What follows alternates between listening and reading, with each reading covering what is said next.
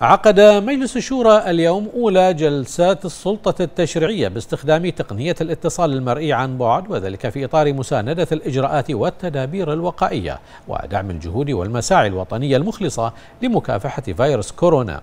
وبما يصب في اتجاه تفعيل التعليمات الصادرة عن اللجنة التنسيقية لمكافحة وباء كورونا برئاسة صاحب السمو الملكي ولي العهد نائب القائد الأعلى النائب الأول لرئيس مجلس الوزراء حفظه الله.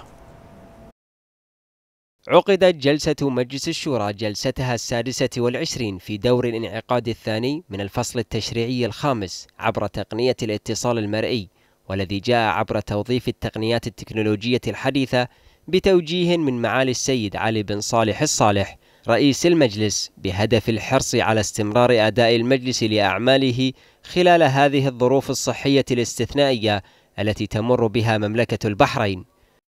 هذه اليوم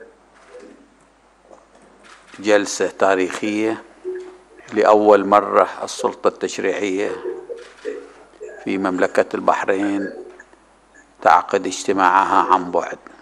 وتعلمون أيها الأخوة الأعضاء أن هذه الجلسة أتت نتيجة لما نمر به من هذا الوباء الذي يتطلب منا اتخاذ إجراءات احترازية حرصا على سلامة الجميع. جلسة مجلس الشورى جاءت مطابقة للدستور والقانون حيث تعتبر كغيرها من الجلسات التي تعقد فقد شهدت مداولات ومداخلات لتنتهي الجلسة بالموافقة على المرسوم بقانون بتعديل بعض أحكام قانون الجنسية البحرينية كما وافق المجلس على المرسوم بقانون بتعديل بعض أحكام قانون المرافعات المدنية والتجارية. أبرز ما يعني ما طرح اليوم في الجلسة وتم مناقشته ومرسومين.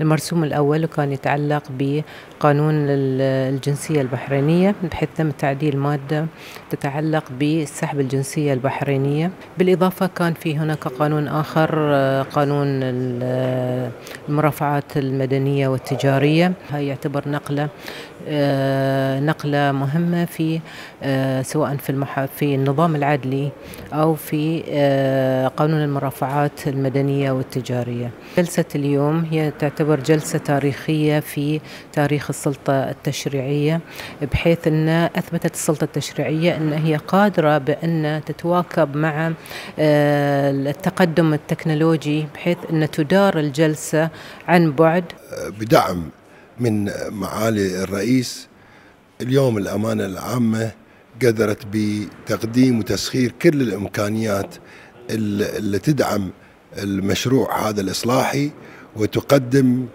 العمل في ظل هذه الظروف الاستثنائية بالشكل اللي قدرنا من خلاله نمشي في المسيرة الإصلاحية وفي هذا العهد الزاهر. والحمد لله كانت الجلسة سلسة تم مشاركة جميع الأعضاء فيها وممثلي الحكومة وكانت أدائها طيب وهذا انعكس من خلال الاستعدادات اللي قامت فيها الأمانة العامة الفترة السابقة في توفير كل الإمكانيات والتقنيات. هذا النجاح الذي تحقق في جلسة مجلس الشورى باستخدام هذه التقنية ما هو إلا تأكيد أن مملكة البحرين تسير قدما في درب التشريع والتطور والتحديث في ظل المشروع الإصلاحي لجلالة الملك المفدى حفظه الله وبفضل طاقات وطنية سخرت نفسها لخدمة الوطن. تماشيا مع سياسة الحكومة الموقرة والتي تدعو إلى العمل عن بعد مجلس الشورى يناقش عددا من القوانين ويمررها عن طريق الاتصال المرئي. للمرة الأولى في تاريخ السلطة التشريعية بمملكة البحرين. طلال نايف لمركز الأخبار تلفزيون البحرين.